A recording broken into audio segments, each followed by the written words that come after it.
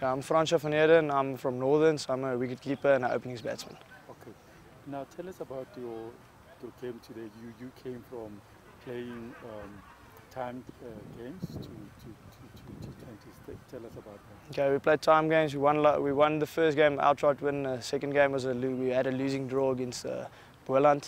So our approach approach this morning was a bit different. We struggled a bit against KZN and Coastal. We lost four wickets in the in the power play. I think our approach were a bit wrong. We went we were a bit too aggressive against them, and uh, I think that cost us again this morning. Yeah.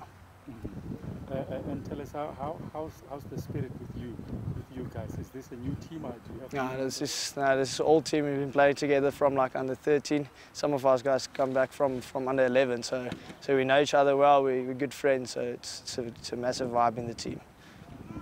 And and after today, um, how how do you do you go forward uh, in terms of, of your team improving? Uh, so it's it's 50 overs coming up uh, tomorrow and the day after, and we had a great preparation 50 overs wise.